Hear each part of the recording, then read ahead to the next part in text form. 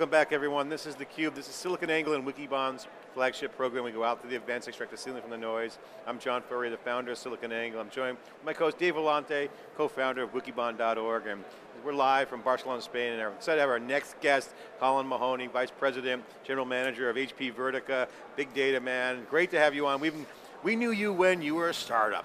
And then came into the HP, you guys are doing some amazing things. Congratulations. Thank you. Welcome back to the Cube. No, it's awesome to be here. I love it. Yeah, I love hanging out with you guys. It's always we great. We love talking to you because you know you you're like kid in a candy store. With yep. Dave and I always say because yep. you have the entrepreneurial spirit. Okay, you're in a big company in HP that now has an entrepreneurial spirit, a lot of action going on, big data center stage. You got the pick of the litter of resources, great sales force. So give us the update on the business. Obviously, there's some surprises coming on the keynotes, which we heard a little bit of a rumor. We won't go in there, but what's going on? Give us a quick update. Prior to the keynote, George Kadifa is going to go on at 2 o'clock, between 2 and 4 here in Europe, but give us a taste of what's new since we last talked.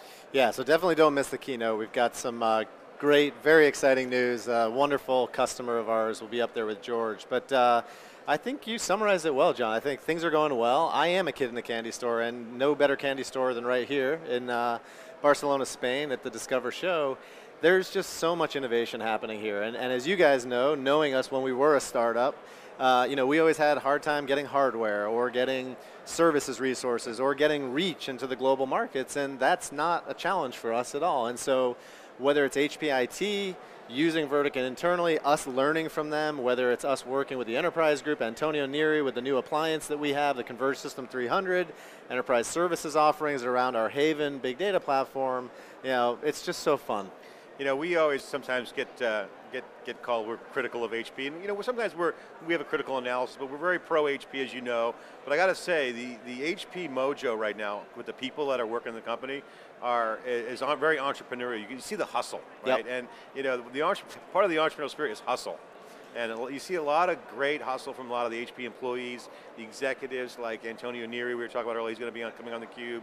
We had Johan on earlier. Good people, really, really, you know, kind, high integrity. So congratulations, great to have a great work environment. Um, so with that hustle, what are you guys knocking down in the marketplace? Give us some, give us a taste of some business updates of what you guys have, are winning. How's the product doing? How's Haven doing? What's new? What's, what's new with the product? Yeah, so uh, things are going great. On, on the Vertica side, we shipped Vertica 7 yesterday, massive release for us. Uh, we introduced something called Flex Zone, which is basically a drop zone for data, uh, flexible schema capabilities. You don't have to do a lot of rigid work to get the data in. So our methodology is store, explore, and serve, and Vertica 7 has just so many great things. Also some really tight Hadoop integration. As you know, we already did a lot of that. Mm -hmm. Improved security with Hadoop and a whole bunch of other things like our Java SDK. So Vertica is going great. And then as you know, and as you mentioned, Vertica is a critical part of the Haven big data platform at HP. And we're doing some phenomenal work with autonomy and enterprise security, uh, as well as services, and building out some of the end applications, we already have probably about 10 applications by HP software, by the various groups that are powered by the Haven infrastructure. So that's going great, and I think, you know, as you mentioned with HP, there is a lot of excitement. I think the employees are happy. I think our CEO, Meg, empowers us to innovate. At the same time, she wants us to focus on the key opportunities and really execute, and that's what you're seeing right here. The common feedback on Meg is, is that she's not um, beating employees with, uh, with, with fear, but more you know, enabling, giving a little more you know, positive encouragement, although there's still, you know, not fear, but like deadlines, P&L. Um, so that's, you can feel it, you can see it through the organization. Yeah, I think the communication that comes from the top and works throughout all the regions, all the product groups in this organization, has been tremendous. And what happens is when you get that communication, groups start working really well together. And I think that was a, a, historical challenge of HP, getting the business units to work together. And now we come up with joint solutions around Haven, around appliances, focusing on some vertical markets with what they're trying to achieve with big data as opposed to just speeds and feeds. Yeah, oh, yeah go ahead, Dave. So, Colin, uh, when we first met, uh, we actually met on the plane. I remember it well because I learned a lot from that conversation. But, but I had asked you at the time. Everybody was announcing Hadoop distributions. John joked in the cube that SiliconANGLE was announcing a Hadoop distribution, and you said to me, "We're not going to do that. Yep. That's not our game." You know, we've got a, a, a different view. We're going to go up the stack and, and, and create a platform. And I wasn't really sure exactly what that what that meant. Maybe I'm not sure you were sure at the time, but you had that vision, and, and that's what Haven has become. So I want you to talk about the, the marketplace a little bit. The, the sort of the Hadoop players. Have, there's been a little bit of consolidation. You're seeing, you know, Cloudera say, "Well, we're not really even in that business. We're completely competing against you know other people." And Yep. you know, Hortonworks is doing its thing, and so I think it was smart for you guys to stay out of that. But I kind of wanted to revisit that a little bit. But talk about, you know, sort of the Haven vision. And, and as John said, where are you knocking down, you know, business? We were at the Vertica user conference in uh, in August, so we had a lot of really good customer examples.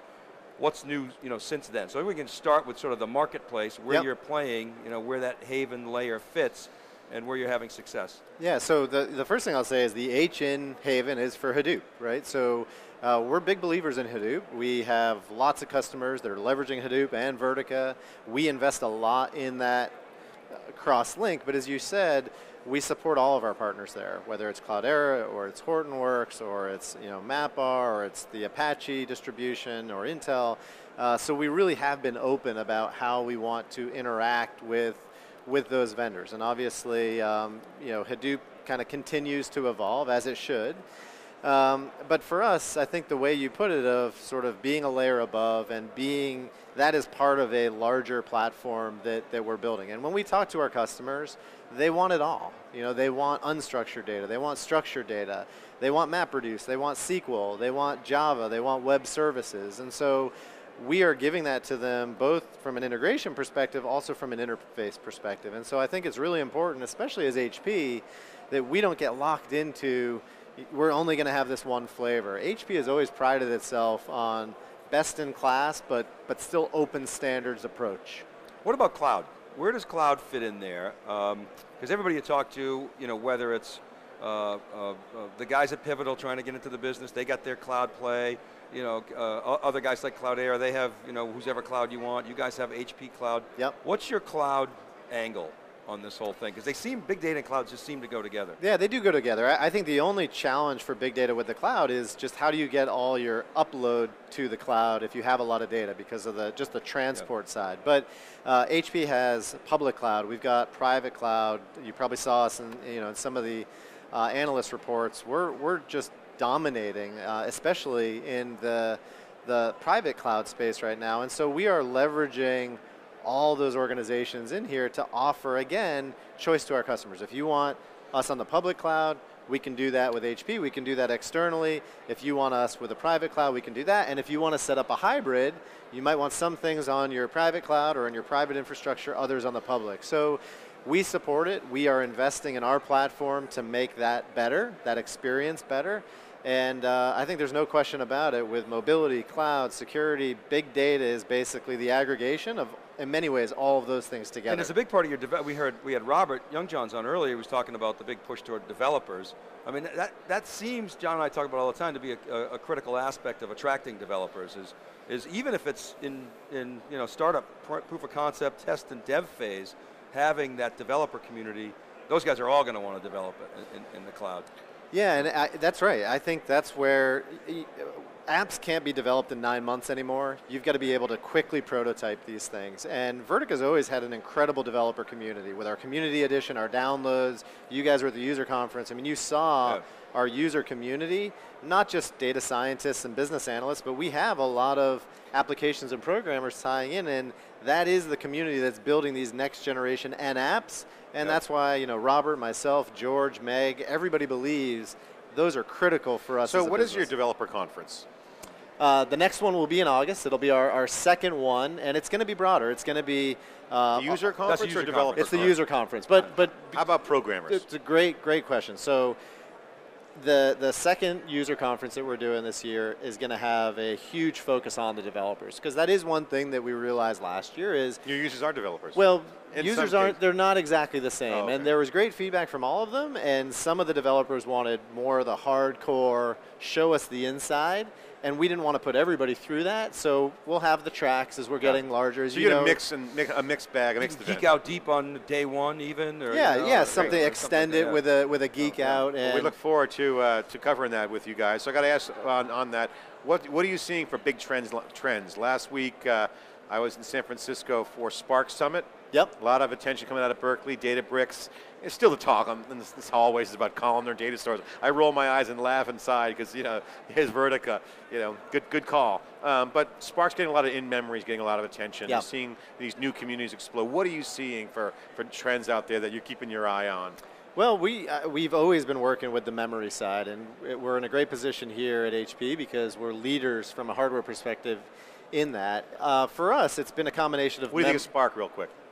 Uh, you know, that? I don't know. I don't follow it that close. I probably couldn't couldn't comment. It's always dangerous when you ask a software guy to make those kind of comments. But but for me, we we believe that the the way information goes is you're going to have a hybrid. You're going to have some on disk, some on magnetic disk, some on SSDs, some pinned to memory, depending on the size of your data. And at petabyte scale, which we deal with often, it's not realistic yet to put it all in Yeah. memory. And so we want to make sure that we can leverage all those things as we do today. Yeah.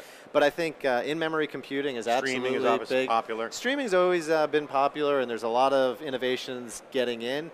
People ask me, what do I think about? How do I think about our, our roadmap? For me, it's number one, make it easy to get the data in, right? FlexZone and Vertica 7 does that. Number two, do a lot more with the data once it's in there. So store, explore, analyze it in more ways. And number three, deploy it anywhere. And that's the cloud, it's the appliance, it's software only. And we're absolutely committed to scale out software only, but we've got to mix it up and make sure that people can consume it. I think the biggest change right now from, say, last year is there's not as maybe as much, even though big data is still all over the place, when I talk to CIOs and when I talk to business people, they know exactly their projects that data can help them with. And I think a year ago, they didn't exactly know how is this going to help. Uh, we just did an announcement with Conservation International.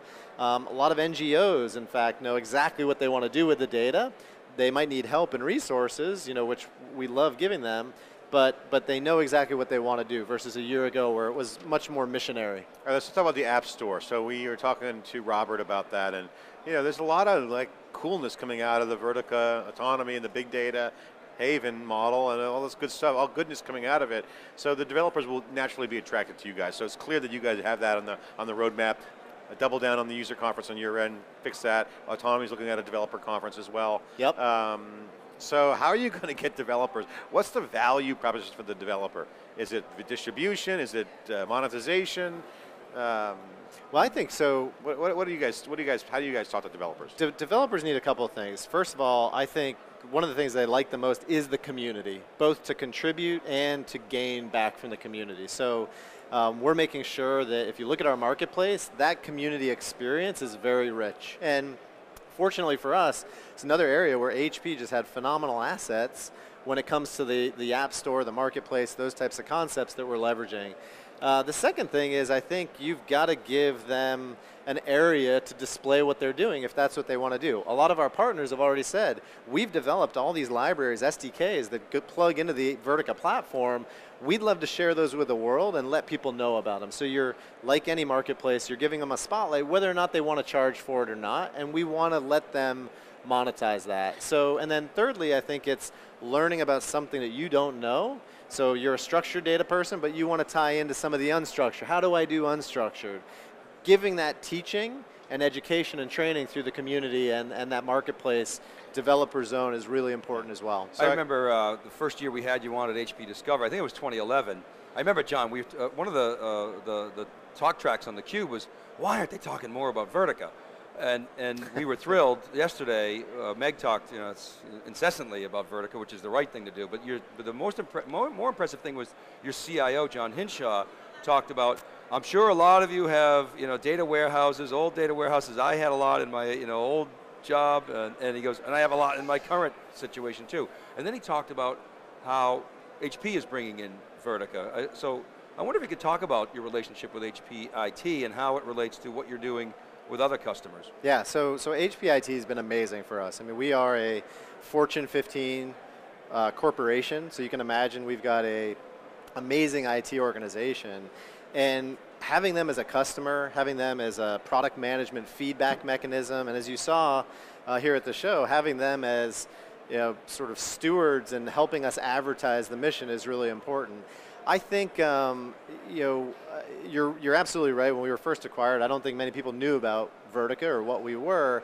And our belief is if we if we focus on building great product and we deliver it and we partner internally and externally, eventually water will find its own level. Word will get out. We will solve problems and and it'll get recognized. And I think kudos to the Vertica team for continually creating great product, great solutions.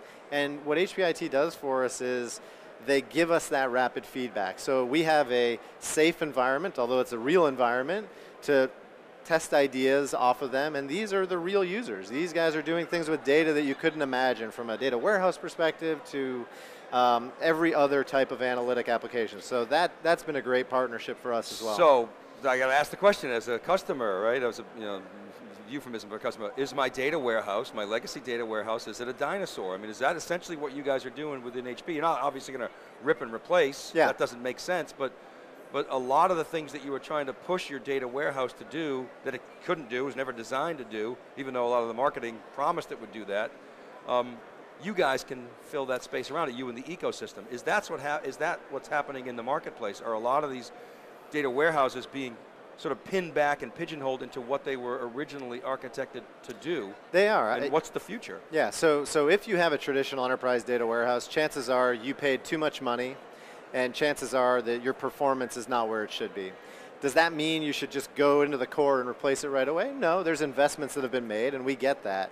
But what we are doing is absolutely taking out traditional data warehouse vendors. And this is slightly a change. Two years ago, I think when we talked about this, that wasn't the market we were going after, but we're being drawn into that by CIOs that are sick of writing these ridiculous checks. And so we have a disruptive technology performs orders of magnitude better at a fraction of the cost. So there's value there, and we're going at that market. In fact, we're being, we've been pulled into that market. We're still doing all the other innovative clickstream analytics, yeah, all the new data, and, and frankly, that new data is the biggest challenge to these very dinosaur-like old it's, EDW. It's interesting. You guys, you know, some startups and some companies, they, they target markets and they, they market to them. You guys got pulled in because you're the aspirin for the for the problem, and then you, they see the new opportunities with the new yeah, data. one's reporting and one's yeah. revenue. Which yeah. one do you so, want to focus so on? So you can yeah. kill two birds with one stone. Actually, probably should charge more.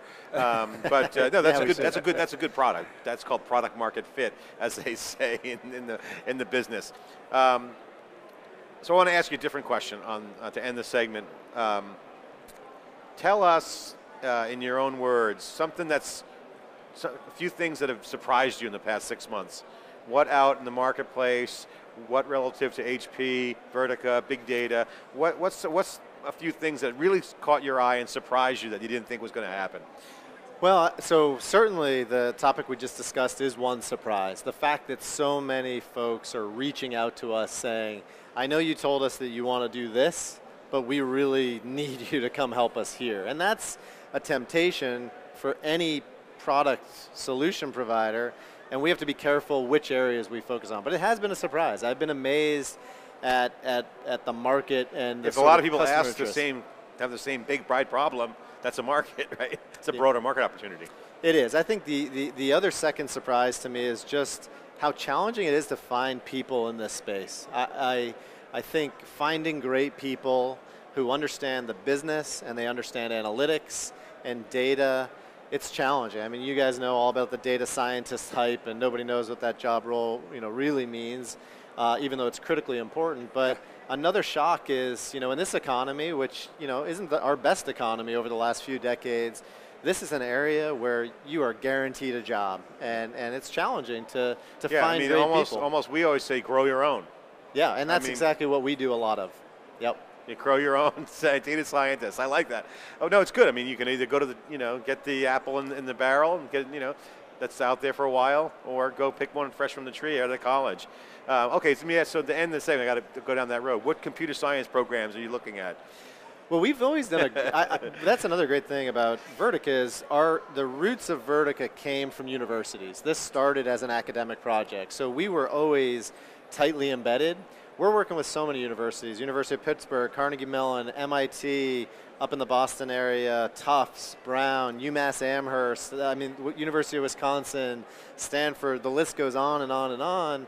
Um, we just want great people who That's love what they do, strategy. have passion, want to come in, work with us in some of the coolest customer environments, Mm. and have fun. We're on a mission, and, and we are looking for great people to jump on board. Colin Mahony, VP, General Manager of HP Vertica. Um, great to have you inside the Cube. Thanks for sharing your perspective. Um, just great to, to see you guys being so successful. Great product. You know, it's one of those products that just was like an engine. You know, and now the car's being built out around you. Congratulations, and uh, and uh, we'll stay in touch. This is the Cube. I'm John Furrier with you. Dave Vellante. We'll be back Thanks, with our next guest after this short break. We're live here in Barcelona, Spain. This is the Cube. We'll be right back with our next guest.